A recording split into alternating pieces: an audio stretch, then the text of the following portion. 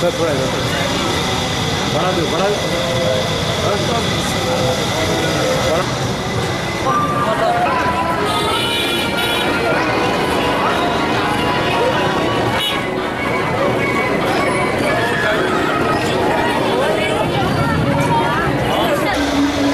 भाग्यनगर गणेश उत्सव समिति, बेला चंदूलाल, इस मंडप की स्थापना सन 1980 में शुरुआत हुई थी और पिछले 34 साल से इस मंडप में भगवान गणपति की पूजा बिना विघ्न बाधा के निरंतर चालू है।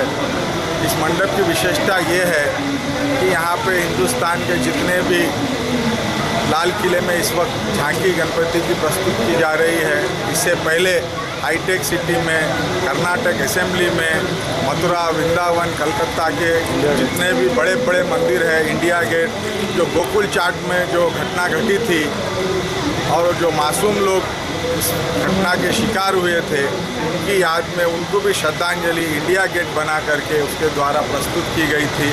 और आज विशेष भगवान की जो आज की पूजा है ये छप्पन भोग का विशेष महत्व हिंदू धर्म में है और ये पिछले चौंतीस साल से छप्पन भोग की सेवा निरंतर चालू है। आज हमारे तेलंगाना प्रदेश के माननीय होम मिनिस्टर जी, नायब नरसिम्हा रेड्डी जी दर्शन के लिए पधारे हैं। हम उनका भी धन्यवाद करते हैं।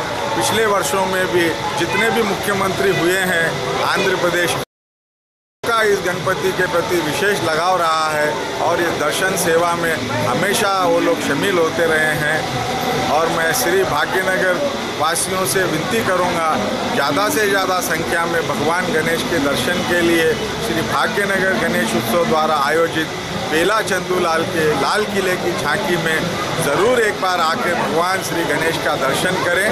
धन्यवाद। आपका श्याम तापड़िया, विष्णु मूर्ति, सदानंद यादव, नरसिंह जायसवाल, ये मंडप के कर्मठ कार्यकर्ता है। सबके सहयोग से इस मंडप की आयोजन होते हुए आ रहा है। आशा है ये निरंतर ये मंडप इसी तरह तरक्की करते रहेगा। धन्यवाद।